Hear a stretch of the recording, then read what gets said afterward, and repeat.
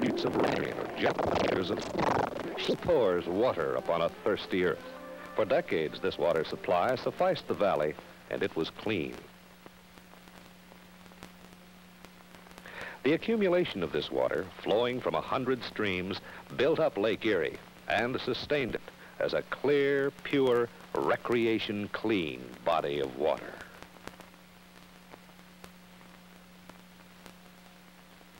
And permitted much of the downpour to descend slowly upon the receptive land. The ground floor of this forest land filtered the water and slowed and rationed its flow through the dry summer months. It retarded evaporation and held back the soil. However, as civilization marched westward, man came with his sharp axes and his land-gouging scoops. First came a few clearings in the Maumee Valley, mostly along the rivers. After the first wave of people came succeeding waves. Generation followed generation. Towns grew and expanded, and everywhere man crowded the land. As man multiplied, all the messes of civilization, human wastes, detergents, silt, caustics, were dumped into the streams, polluting the water and bringing death to many of the creatures that lived in it. This was done on the theory that America is so big and our streams so many that anyone can dump his debris anywhere and it will get lost. Now warning signs are erected around Lake Erie. Once a beautiful lake. Summer, signs are posted to shoo off bathers and boaters. Now Erie is showing not age, but the ravages of man. Into the lake there flows from Toledo and Detroit great masses of oil. This oil floats about and finally drifts in upon some unprepared is destructive of recreational uses. The oil discolors the sand and binds it to the harsh macadam-like surfaces. These ridges are so long and pronounced that the oil in effect takes whole sections of beach out of recreational use. Also into the lake come great quantities of eroded material from some farm. This burden of foreign soil sinks to the bottom where it rolls and churns, rolling the water and finally unburdening some of that silt upon the shore. Moreover, it settles around and smothers the eggs and larvae that make up the favorite food of so many game fish. This map shows one of the sources of pollution in western Lake Erie, the great river, the Maumee. The Maumee watershed is a vast complex of streams, compact in character, flowing in a saucer-like declivity that is almost circular in form, made up of the St. Mary's and the St. Joseph's, the Auglaize, the Tiffin, the Blanchard, and the Ottawa. The river is affected by fish-killing thermal blasts across current. It bears on its surface the scum of stagnation, it has become a dead sewer filled with bacteria called anaerobic because they survive without air, just the opposite of aerobic bacteria, which quickly clean up filth. This family of rivers, polluted with acids and caustics, chemicals and oil residues, gradually turns an inky black. The river has become an overflow sewer burdened with the accumulated debris of a dozen cities. No wonder the Parks Division has had to erect signs of warning, and the summer months have become for thousands a season of stagnation and worry. Our first definable type of pollution is the streamside dumping upon floodplains. At Montpelier, garbage and debris are piled on a floodplain immediately adjacent to the Tiffin. And when there is a heavy runoff, pollutants seep into the channel. At Ottawa, all kinds of chemicals and organic and mysterious wastes are piled on a floodplain from which, with every downpour, masses run or filter into the Blanchard. And in lower Toledo, Ten Mile Creek is directly polluted from the accumulated wastes of a great metropolis. Technically, the waters of the river are supposed to be separated from the dump by a high dike. In reality, the accumulated debris is bulldozed down to the water's edge, from which saturated materials run from the river directly, even during light showers. From the burning organic material, caustic lye solutions foul the water. Similarly, in Findlay and in Lima, accumulated masses of junkyards, refineries, and even disposal plants are piled where there is no safeguard against spillage back into the stream.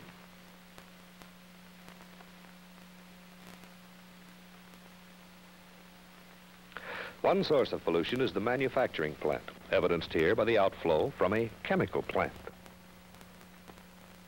At Sylvania, the calcareous byproducts of a city water plant are dumped into nearby sewers from which they issue as pollution into streams.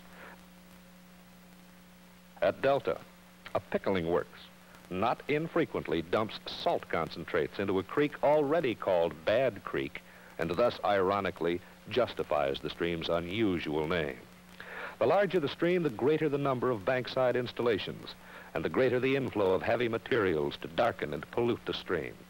The downriver Maumee is made turbid by metal processing, steel fabricating, and numerous other industrial plants. Frequently, the concentration of industrial wastes is apparent for blocks downstream in violent discolorations.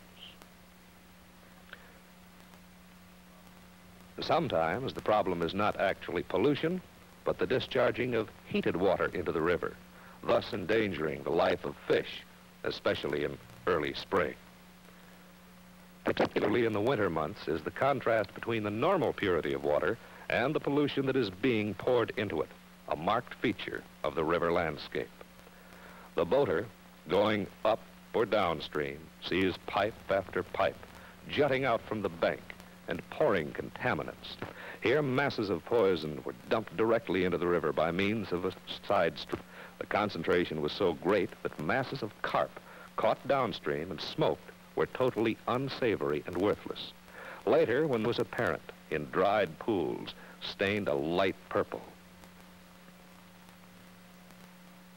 Everywhere across the stream and down channel for a half mile, the purple stains dotted the river's course. And the next high water carried part of the residue away, only to sweep the poisons out into the lake in the region of Toledo's water intake pipe.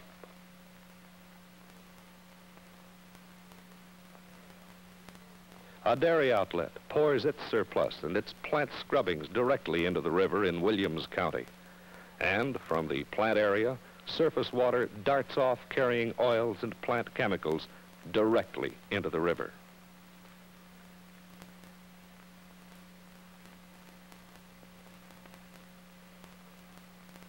Below Napoleon, we behold a scene enacted every five minutes in the late summer months at the outlet of a canning factory. From the banks and from the railroad bridge, the heavy contamination of the river is apparent, for bright yellow patches mark the infiltration of foreign material into the stream. Corn earworms are discharged and fed the hungry carp. The effluent is charged with a mixture of organic materials and silt. From one plant alone, the effect might not be serious, but when multiplied with a number of plants along a river of admitted slow flow, the pollution is disastrous.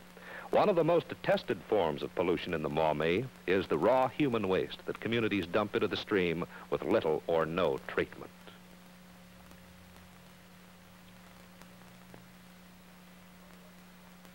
In northwestern Ohio, there are eight large cities that attempt only to remove waste solids from the sewage. 25 villages, including Lyons, Metamora, and Edgerton, attempt no treatment of human wastes at all.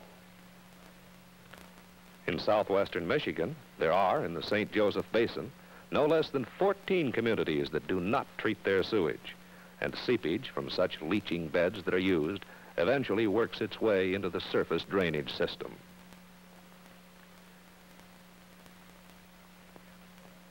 In the Indiana portion of the Maumee Valley, there are a dozen towns that have no adequate treatment and two large communities that have only primary treatment. Even communities credited with treatment facilities frequently have plants that are too small for the mass of material they are called upon to treat. Sylvania, Waterville, Perrysburg, Van Wert have plants planned for a non-exploding population. Confronted with facilities unable to cope with the load, some plant managers turn valves to bypass the plants and save themselves from being literally engulfed by waste. But this simply sends the problem to communities downstream. Many plants merely liquefy the discharge and dump it into the nearest stream. Let us observe a number of such untreated outlets and note the poisonous waste. At Antwerp, sewage and Monday morning suds combine to pollute the Maumee. At Montpelier, the assorted waste of the community builds up rotten masses in the Tiffin as it tries to flow by. The periodic releases of sewage at West Unity discolors the waters of a small stream. At Lyons, the liquefied sewage flows into a creek just a quarter mile from town. Over rocks on a bank, the community on Town Creek releases its waste material and pollutes the stream. And at Edgerton, the town's waste is made to flow into the St. Joseph. Below 25 communities, the telltale pipes, colors, and odors signify stream pollution. Man has invented the septic tank to provide a partial solution to the problem. But like all man-made devices, it does not always work efficiently. It is placed too close to wells. The outflow tile are not sealed. The concrete it is made of cracks and leaks. It is not cleaned periodically. And so many septic tanks are concentrated in small areas that the storm sewers are inevitably polluted. Some residential clusters, as at Upper Napoleon, are not joined into city systems. What is the result? Waterborne diseases are present, and those daring to swim in the water or even fall into it are ready victims of dysentery, hepatitis, typhoid, and eye, ear, and throat infections. All of this pollution serves to consume the oxygen in the water, and algae grow from the nitrates and phosphates untouched by the disposal plants.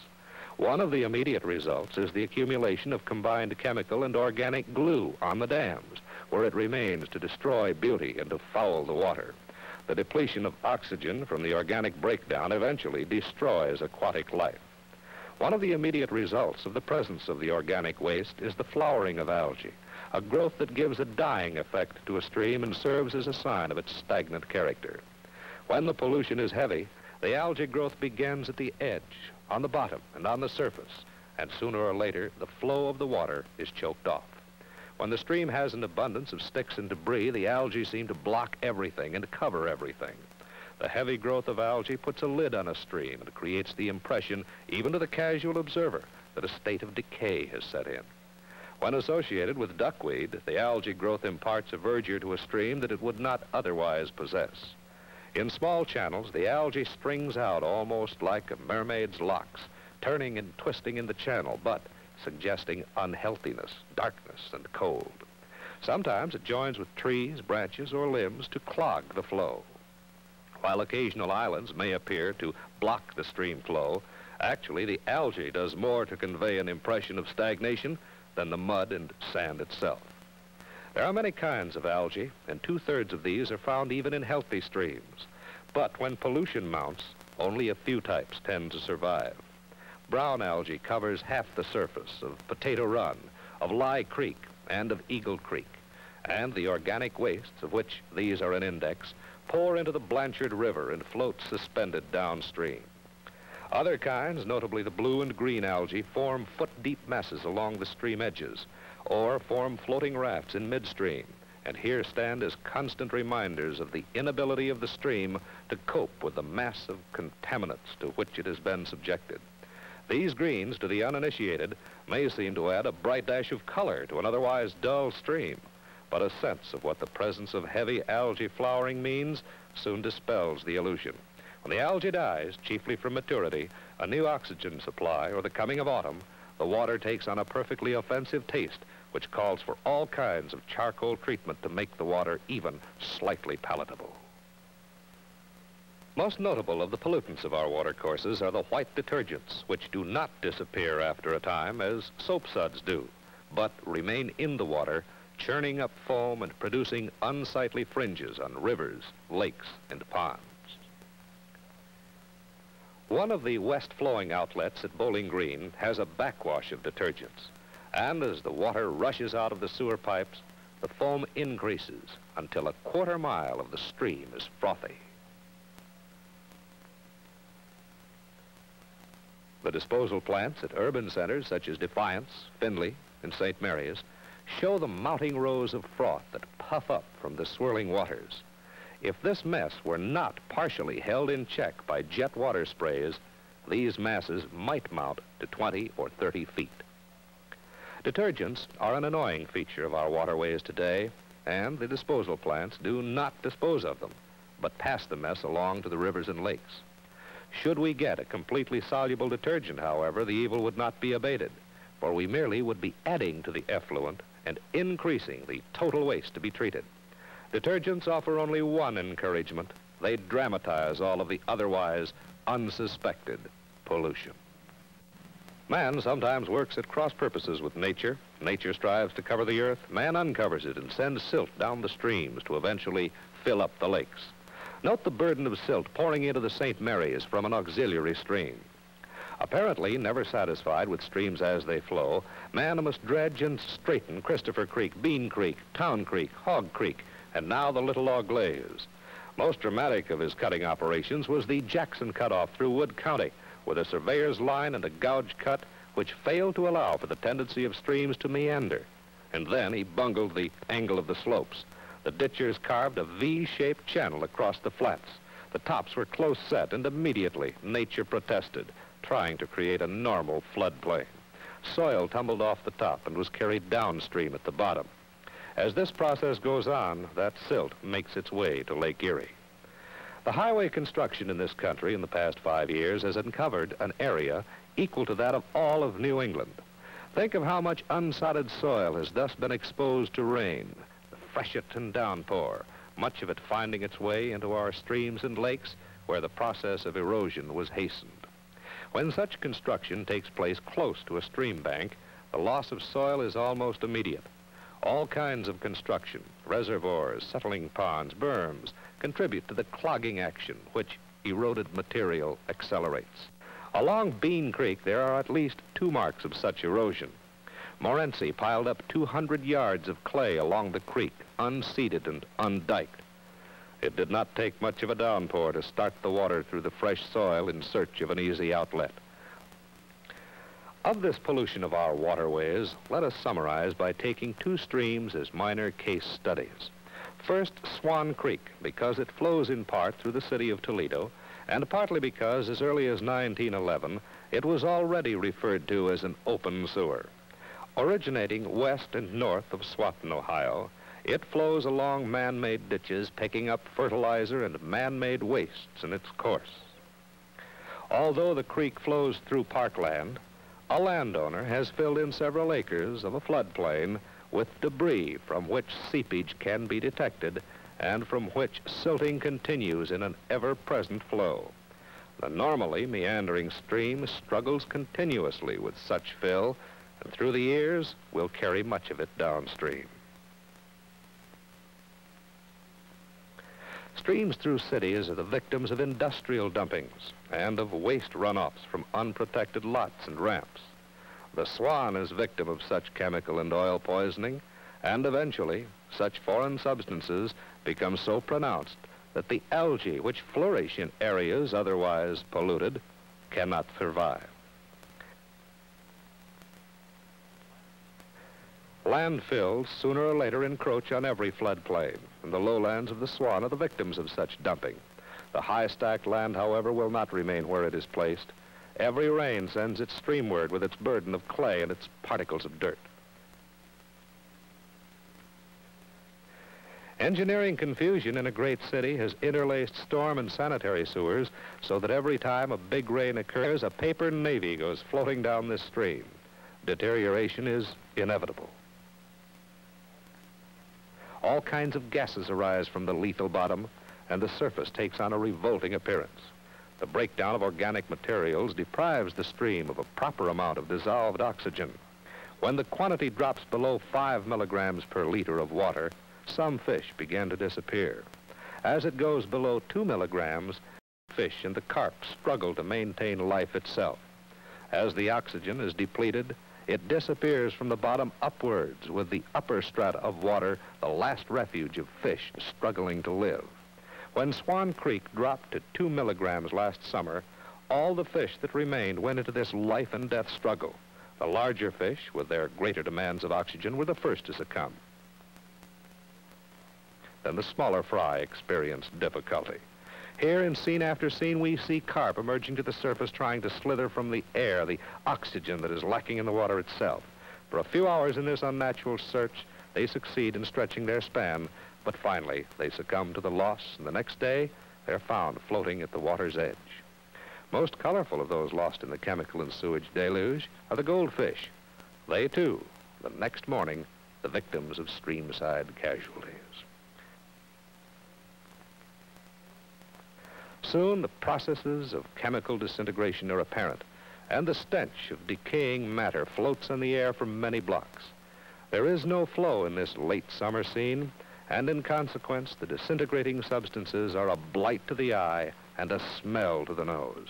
The floating death drifts here and there, is driven by surface winds, but ends up in a tangle of streamside debris. The surface of the water undergoes change too, and it looks as though it would take a plow to create a channel in it. The chemical poisoning and waste are so great that the algae present upstream no longer flowers, for it does need oxygen during the night, and the stream supply is totally depleted. This is the end of the trail that began with pure translucent raindrops. From top to bottom, the stream is dead. The worms are found, and the more of these there are, the more polluted the streams may be said to be. Moreover, here thrive the larvae of the mosquitoes, never to be missed where stagnant water stands, and odors from the stream make the air heavy for two or three blocks distance.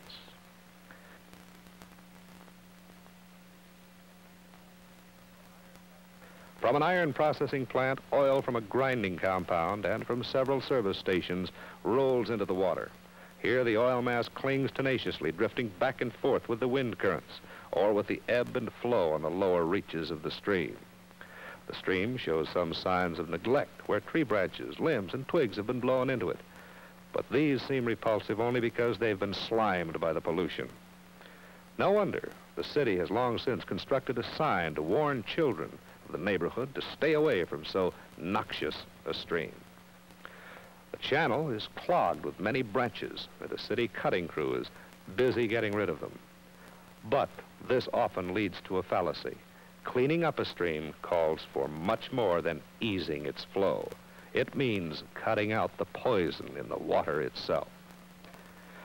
One other stream may be cited, the Ottawa River, which flows into the Au and then jointly with the Blanchard originating as Hog Creek and badly silted from manhandling of the channel and filled with pollutants from Ada, Ohio, and farm lots and faulty septic tanks, it is so badly laden with nutrients that midway through the city, heavy waves of sewer gas reek along its banks. And the upper and lower dams in Lima are algae coated. After this slight aeration, the blue-greens more or less disappear to be replaced with a gray algae that thrives in areas of low oxygen content. Into this low-grade water, the spillage from a refinery is poured. This oil material cools downstream and forms a heavy surface film. Meanwhile, there is a heavy flow from the sewage plant in Lima. Rich in nitrogen and phosphates, the output encourages the blue-greens to grow again, where the flow has slowed down. But when the mixture has been restored to a balance, the pollution gains ascendancy and blackness resumes sway. Algae reassert themselves at the dam where filamentia appear. Over the sill of the dam, there is a limited flow even during the dry summer months, and such churning action as takes place permits the foaming of detergents to appear. Just above the dam, there was an area of 30 acres that afforded a floodplain for seasons of high water. But refinery junk and the messes that accumulate in large cities have been allowed to assemble there, and the floodplain has been piled high with debris. When the water rises in the spring, the current nibbles away at the debris, and the free-flowing water of the banks washes much of the waste materials into the stream itself. Refinery, chilled masses of oil float by on an algae-filled bottom. The growth is such as will survive in a low oxygen condition alone, a gray matting covering the stream bed. Of crawling life, there are only sludge worms. Into this, there is poured the warm, oil-laden water. When it is still warm, the oil blends in, but it stains deeply the stream bank downstream. Below, it congeals into a yellow, waxy surface, a yellow that with increased cooling gradually changes into black. After the oil is mingled with the water at normal temperatures, it meets even more serious pollution. Downstream from the sewage outlet, there's a considerable outflow of sulfides and nitrogens from a fertilizer plant, an invasion into the river flow of more water bulk than the whole stream is carrying in the low-flow summer months. As this side addition makes its way, the color of the stream changes from a dull green-brown to a yellowish black. At the first, the effluent appears as a lively amber, but as its bulk increases, Its blackish color mounts, and soon there is flowing from the concrete flume an inky stream. Downstream of the chemical effluent, there are floating rafts of algae which somehow have escaped the outlet's churning. As the rafts thin out, the green of the algae contrasts shudderingly with the blackness of the main stream. The blackness of the stream reveals itself as it flows over a dam five miles downstream, for even the spreading of the water over the sill fails to impart the airiness that one expects from tumbling, churning water. For the next 30 miles, this river of blackness cuts its course through the land particularly devoid of marine life and gaining more pollutants as it goes from farm lots, from septic tanks, from small communities along the way which pour their wastes into the stream. Finally, the stream reaches one of the few areas that can lay claim to being still a beauty spot, with the water flowing over a rocky sill and turning and tossing in its way downstream. It looks beautiful, but the sense of beauty is lost with the realization that the water is polluted, and there is no mixture with oxygen either here or elsewhere to bring new life to a tired and burdened water. And we need to learn as we gaze in such spots that economic sanity calls for drying up the sources of pollution rather than merely reprehending the results. No matter how depressing the picture is, it is still not too late. We need not, must not abandon hope. Only our apathy will cause us to abandon this once beautiful river. Let's see how we can turn apathy into action. Since no real progress can be made without an informed and determined citizenry, the first step for everyone is to become better informed about the causes of pollution and the remedies for it. Learn what most needs to be done about pollution in your locality or community. Pinpoint the problem. Is it the size of your disposal plant, an inadequate sewer system, lack of proper zoning of floodplains, or what? Find out specifically what needs to be done. Many civic organizations and women's clubs and all conservation groups have clean water programs. Support these programs in your community and form local citizens committees to deal with special problems. Work with local agencies. Let them know your interest. Ask what you can do to help. Offer your support or that of your group. Contact local elected officials. Bring your problems to the State House. Petition your governor and your legislature to adequately staff and finance the state control agencies which all states already have. Never miss an opportunity, either by word or example, to make your neighbor and everyone around you aware of the peril of pollution. For if pollution is not abated by public action, it could well end up a national catastrophe. These, then, are but a few of the many things that will determine the fate of our rivers. The Maumee can be clean again, like this again a source of clean water for communities, for agriculture, for youth, and for recreation. The fate of our rivers is in our hands. All hinges upon our apathy or our action.